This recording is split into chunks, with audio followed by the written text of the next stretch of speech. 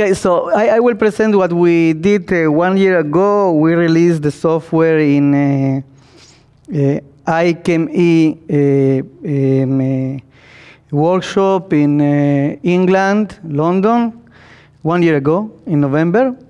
And I, I will give you some points about how is the concept of the this software that is really the concept of every of the software you have uh, VisiMix software you have. So there is some way that Professor Braginsky thinks that it is the best way to represent the mixing.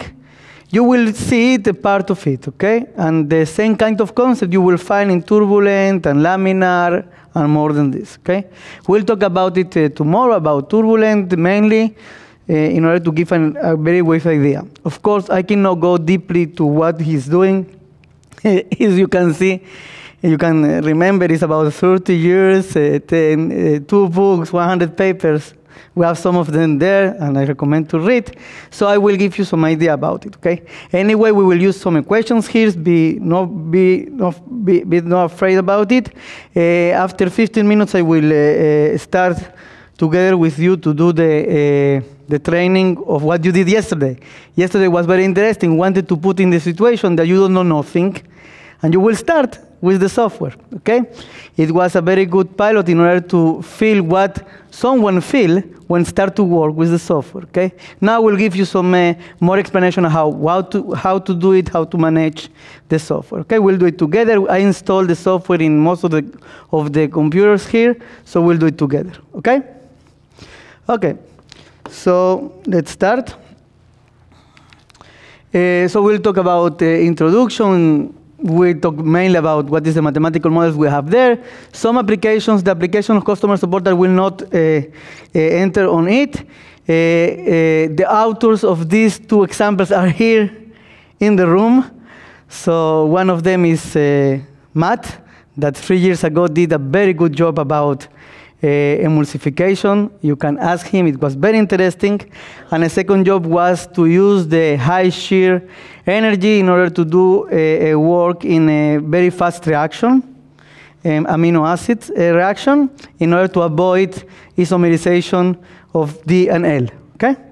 So all of them is here, you can ask them, it's very interesting and we will do, may maybe tomorrow we'll talk about it more. But uh, the more important thing is, okay, all of the company, we want, don't want to talk about it. Uh, uh, Victor, of course, you remember, Victor, this is the, the book. it is you. uh, and the customers, all of this we know. Okay, I want to talk about uh, a little about the uh, VisiMix mathematical model for emulsification. and, and I want to dis discuss about what is the limitations or non-limitation, what is the assumptions we do okay? Because it is uh, one of the main important message you emphasize during the first and this uh, day. Take in account when you have a correlation, you have to take in account what is the limitation of it. Okay, VisiMix is some way to do, so you have to know at least what is there, okay? Maybe a little. No, we don't have all the, the numerical methods to explain. No, but a little what was the concept. In order to take in consideration this kind of thing and manage the model better, when you have something that is outside the limits of the, the, the, the default of the software. Okay? And we did, Ray did a very good job in this way to the, to the morning, something that it is not in the default. But you can get results. Yesterday, if you remember well, when you used the RSDE, it was some limitation about the dimensions of the window, okay? So you manage one of these groups, manage it well, okay? Did some assumption, and in this way they get the drop size and so on. It was very good. It is the, the idea. The, the geometry can be infinite. So how to manage what we, what we have and the software we have and the knowledge that it is a best, good knowledge. Okay, so rotor stator, do you know what it exactly is? It's a, some device that uh, is running very high velocity in the center or outside, and we have another part that is static. The distance between the rotor part and the stator part is very, very uh, uh, short, very small, and for this reason you have very high shear rate, okay? It's normally one. When you are running, running in this high velocity, what happens is the, you are creating some vacuum here, so low pressure here. So the, the flow will enter until the enter of the, of the axial side, uh, part, and after that you want to exit through these uh, windows, and when it exits through these windows, you have to pass this small pace, uh, part, so the meaning of this, you have high shear, okay? This is the, what we are doing. What is the, the advantage of this is that you are uh, break a big part of, par of fluids in small parts, okay? And you can do two stage, three stage, and different kinds of configurations, okay? It's according what, what you want to do. Uh, with rotor stator disperser emulsification, we add the capability to calculate the, uh, the main drop size, the drop size distribution, the emulsification uh, the dynamics, so how long it will take in order to get the particle size, where, the drop size we're looking for. And it is in addition to the uh, previous version, that in this version we were able to sorry to calculate the shear rate, this, uh, the specific power, the pumping capacity, and after that the time required to uh, get different kind of homogeneity levels. Okay, um, uh, uh, and of course more we uh, include in the in the emulsification package a capability to um, to uh, install the rotor stator in different points in the reactor, in a recycle or in an inline. Okay, we don't need the vessel. We have the inline. We put a rotor, a rotor there. We have a pipe, and the pipe uh, feed the data to the rotor stator and release it. Okay, inline uh, operation. All of this we did. So this is all the operation that spoke about it. This inside in the reactor from the top, from the bottom, as a recycle, and in the inline way. Okay? This is that was the implementation. Some uh, uh, main ideas about the model. The first is uh, the main side. Oops, sorry.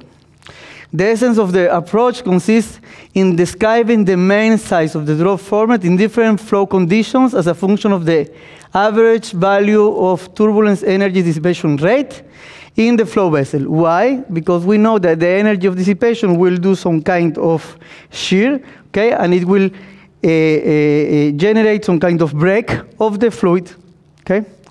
Uh, why we talk about average, it's some of the assumption we are doing. It is not completely average one point, it's the average around some point, okay? So if we have high energy of dissipation close to the impeller and a lower energy of dissipation in the bulk, we will continue to use these numbers, okay? Uh, a real, yes, a real uh, progress could be achieved yeah, by analyzing the kinetics of breaking and Coulomb droplets. So, so, we take in account that we have different kinds of mechanisms. We have the mechanism of break, okay, of uh, breaking, and we have the mechanism of Coulombs. And there are two different mechanisms that are competing together, okay? We want to break, we want to Coulombs, and we have to manage with both of them, and all of them will be function of the conditions in the reactor, or will be function of the, let's say, energy of dissipation of the system. Okay? We have to manage all of them together. Okay? Um, uh, this model, uh, the implementation of this model, is in Visimix turbulent. If you go to Visimix turbulent and you go calculate liquid-liquid, the model we use is exactly the same model. The develop was what will happen when we have really high shear rate? You know, the normal shear rate in the turbulent system is about 100 or below that, okay? When we talk about high shear rate, we, we, talk about 1,000, 100,000, something, or more than this, okay? And maybe the, the extrapolation will, will be not so clear, okay? So for this reason, Professor Braginsky, what he did is uh, to evaluate again, to take samples, to put in the microscope, to, to see what happened in different conditions, try to understand what was the collision and what was the break, the breakage of the drop we have. Okay. Uh, so yes. Um, okay. Um, uh, the, the research was the following. The task is, to, is limited to simple modeling of kinetics of simultaneous breaking and Coulomb droplets in the range of diameters corresponding to Kolmogorov uh, no viscous range of linear microscale turbulence. The meaning of this we talk about uh, until the level of Kolmogorov uh, uh, range. Okay, below that, my nanotechnology we don't know. Okay, we know that it is happening in stereo vessels. Okay, but we don't talk about it. We don't know. Maybe it will work. We don't know really. Okay. A second, the, oops. here. The mixing was assumed to be perfect. Oh, surprise. Why? Okay, let's, let's, let's talk what is perfect to Professor Braginsky, okay? It is not the perfect what we think, okay? Uh, all the all position of the drop in the tank were assumed to be equivalently probable, okay? No, the energy of dissipation is homogeneous, no. In the position that the drop is there, we have the same probability to happen something, breakage or collision, okay? We'll talk about it after that and the distribution of the drop size and concentration of the dispersed phase were considered uniform. Okay? This that we have, this some assumption. We have to take it and continue to this to know what is happened there. Okay?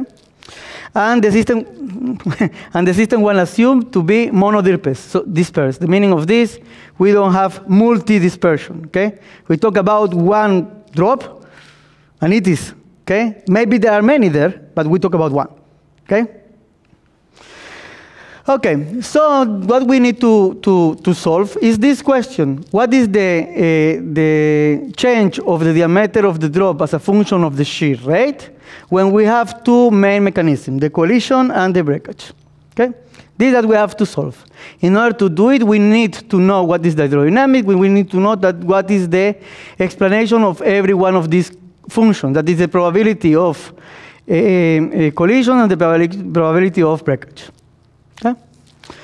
Um, uh, uh, three functions, this is explained before that, will uh, manage the, the diameter of the, of the drop. Okay, from here to the end, what we have is considerations about what was the main or the more important model that we, Professor Braginsky used in order to define what will be the critical velocity in order to get the deformation and breakage of the, of the drop. Okay? He used this one, okay? If you, uh, let me explain about it a little. Uh, if you want to describe uh, the uh, behavior of the, um, uh, of the uh, turbulence systems, okay? If you want to know what is the velocity as a function of the time, and you put a sensor in your reactor, in your turbulence system, even in the atmosphere, what will be the graph we will get? Velocity as a function of the time what we'll have? It will be not smooth. It will be you, some nervous people, yes? Eh? Eh? Okay? Okay, this is uh, something that it is, uh, uh, you can tell that is deterministic, not deterministic. I don't put inside me, uh, myself in this kind of discussion, but it is difficult to predict, okay? What we do normally in turbulence uh, models is that we have some, uh, some average as a function of the time, and after that some deviation, okay? From deviation, you see some deviation, okay? This deviation will be B prime, and you know that V will be B average plus B prime, okay? Okay, it's clear? Now, the we, we are very, uh, very uh, busy to find what will be the best B prime will describe the process, okay? And in the solid, uh, solid distribution, when we take the material from the bottom, you explained it yesterday, Victor explained it yesterday. And uh, in the breakup, the main important thing is the fluctuation of the velocity. Okay? So this will be, will have some critical velocity that will break out the flow, the, the, the drop. Okay? So we're looking for it. This is one of the ways that Professor Braginsky take, take account. I don't know exactly why and what is the reason that he uh, uh, used exactly this, but he take in account it taking account the uh, surface tension, it taking account the dif difference uh, density divided viscosities, it taking account the energy of dissipation and so on, okay? Um, uh, we will need more. We'll need a, a, linear scale destroying pulsation. Okay, what will be the length that will have the destroying dis pulsation? Okay, it's close to the uh, uh, mixing length of Prandtl uh, distance. Okay, and in, through into this uh, range, we will have a probability that we have a breakup of the of the of the drop.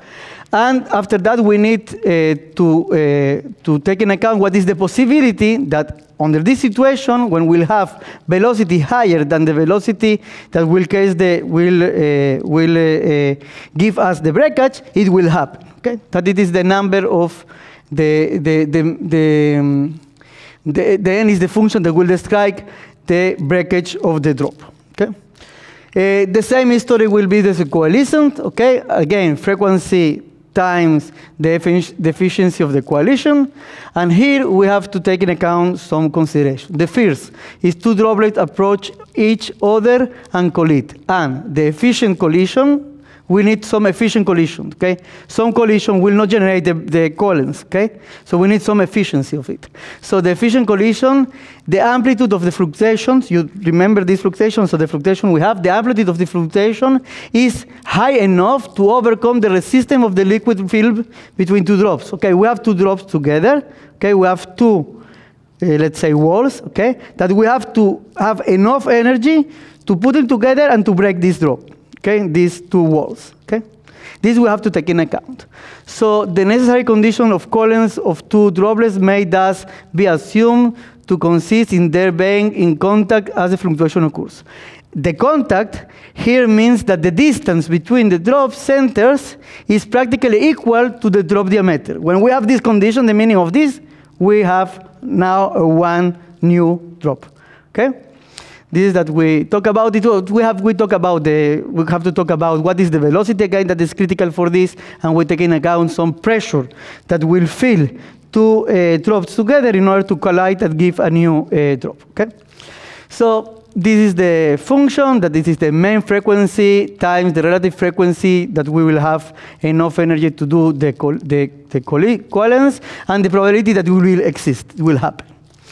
Okay, some results about it. If you're looking for, for instance, what will be the, uh, the influence of the energy of dissipation in the dimension, in the dimension of the drops, you will have different kind of, uh, you know, it is log-log, okay? This is logarithmic uh, representation, okay?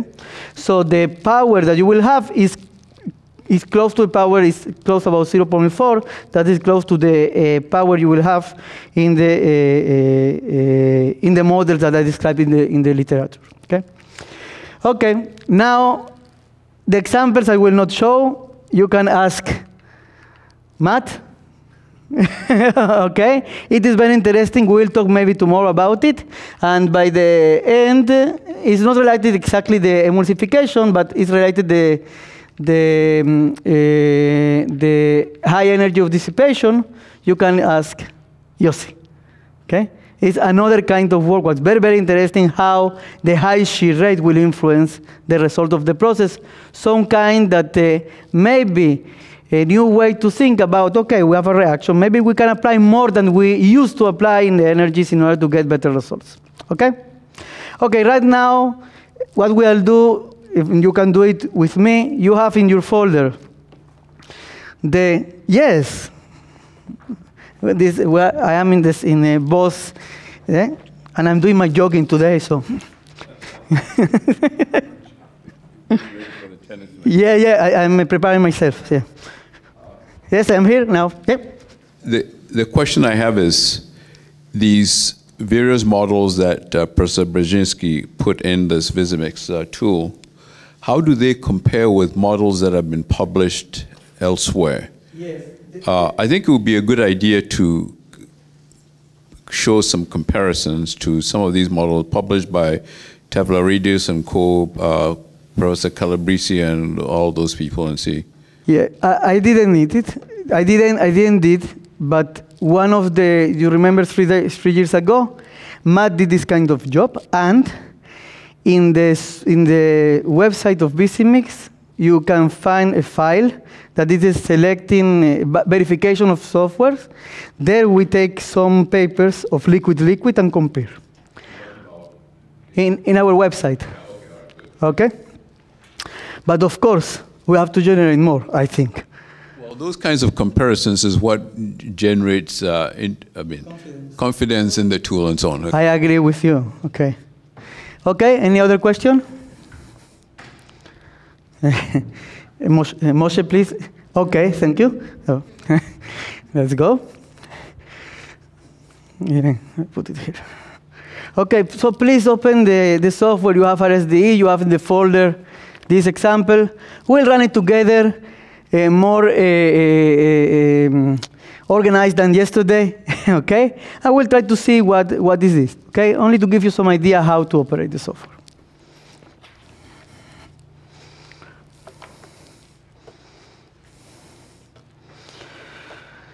Okay. Uh,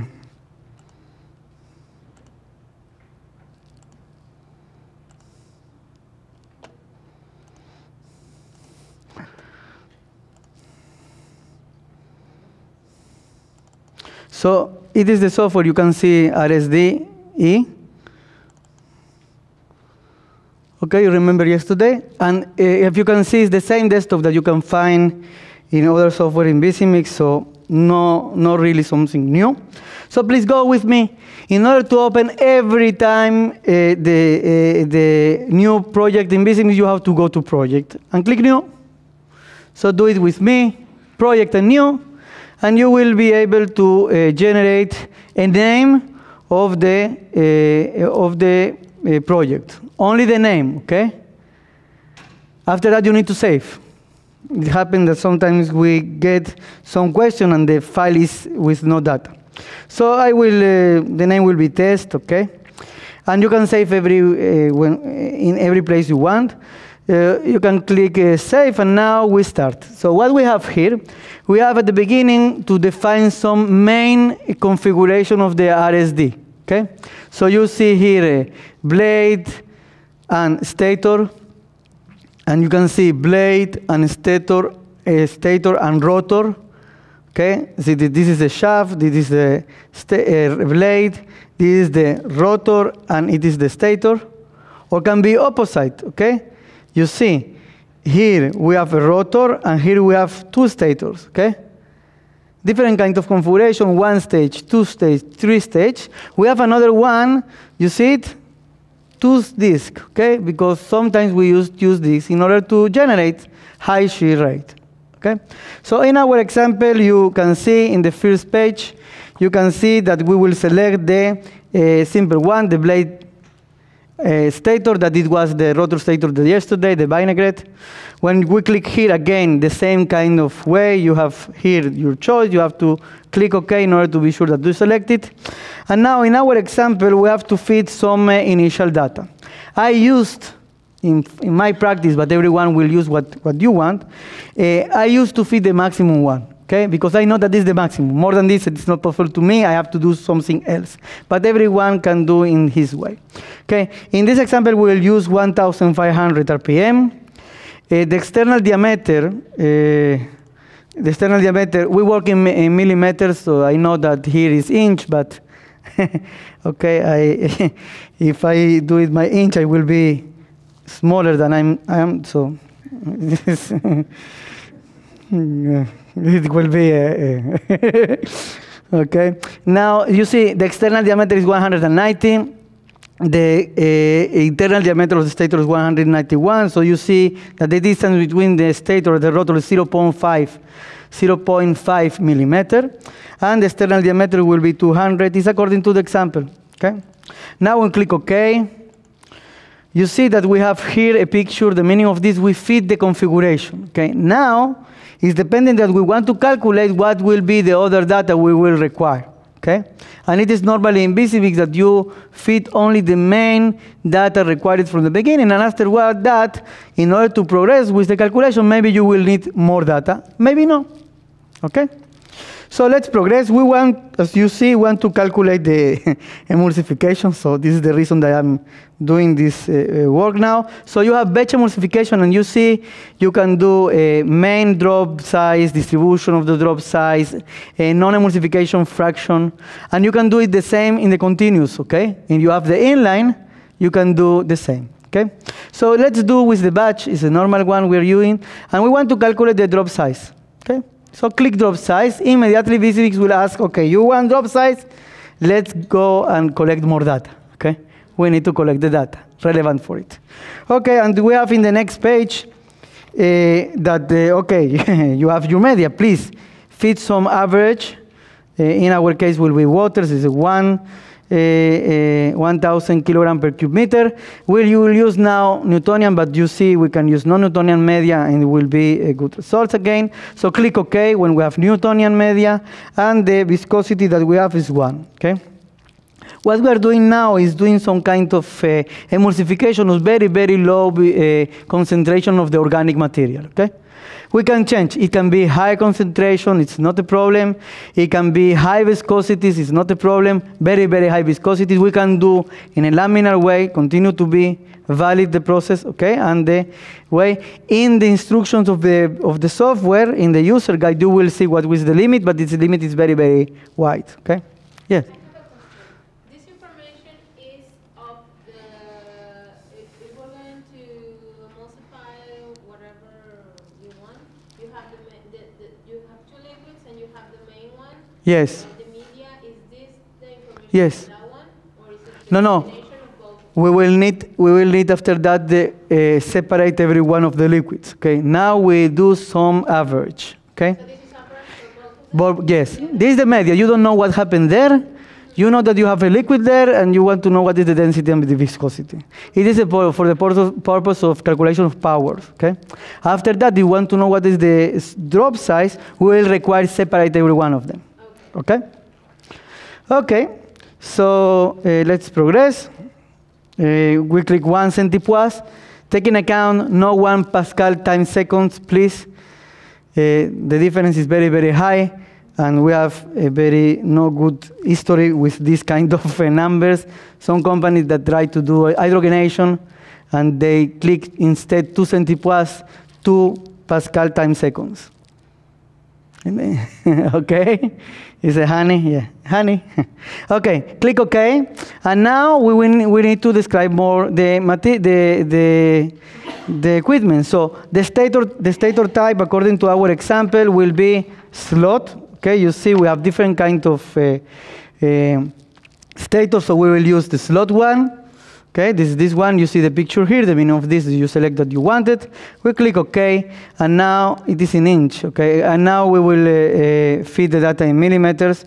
So it is uh, 32, the internal uh, eye 36, the external eye. The number of slot will be uh, 40.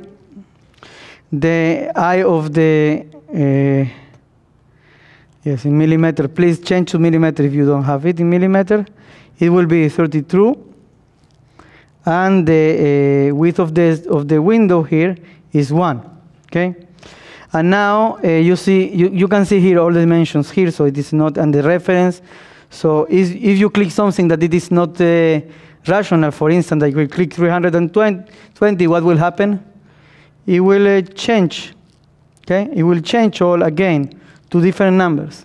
What is the meaning? uh, If you, if you want to know if we change something, it is underlined, okay?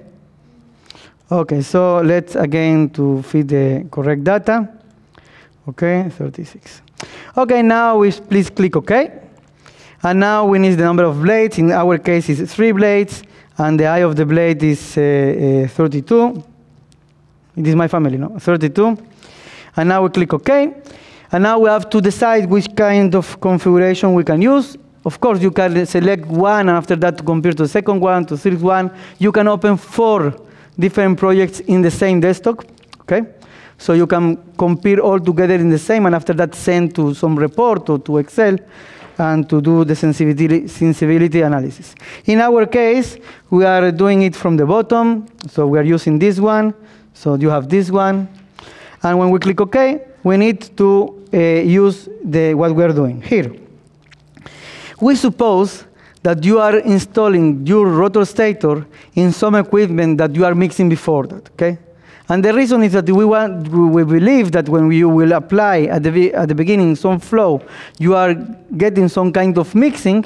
Okay, after that, you will, uh, you will use the local high shear rate in order to improve what you are doing. Okay, it is what we assume.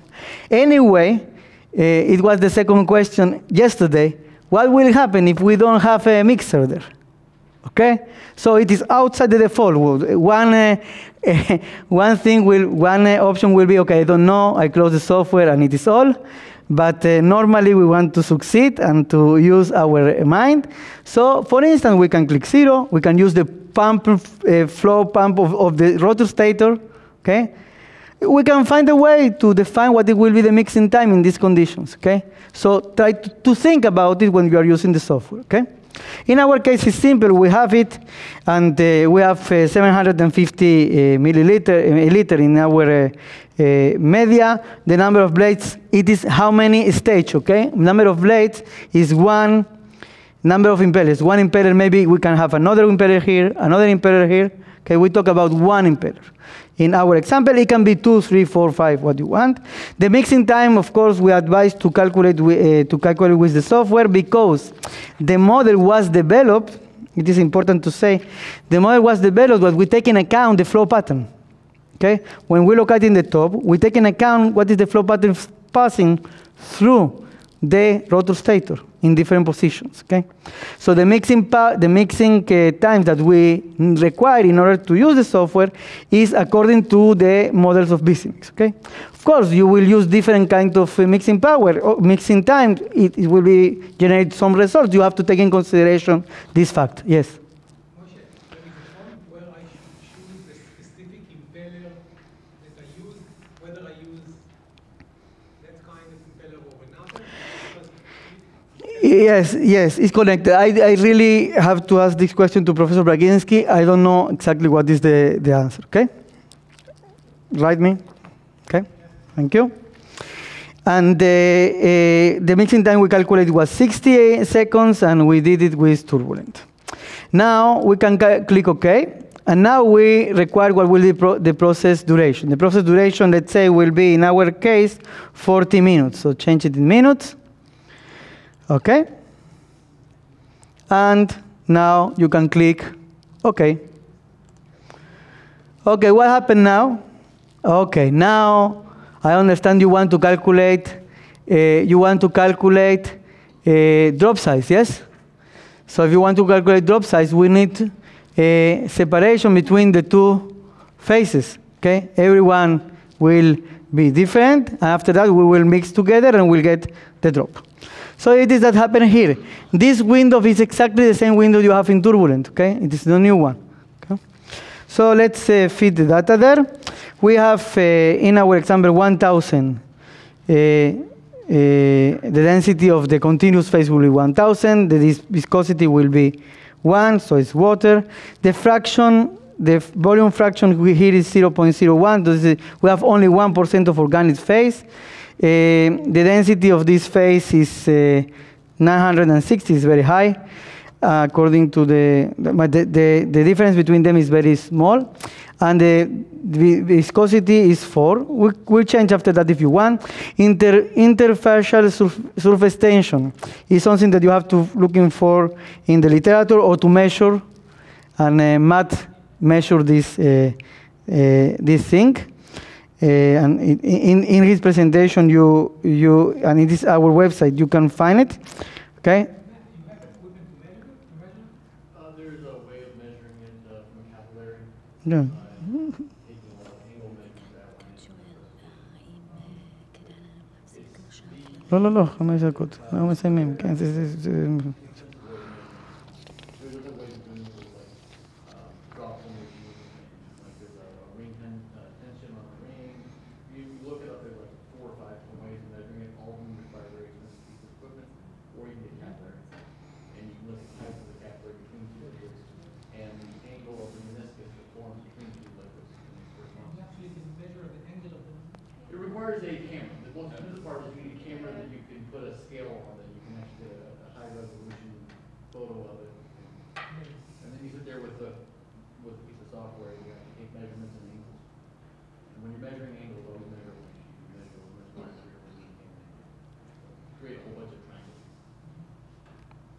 Okay.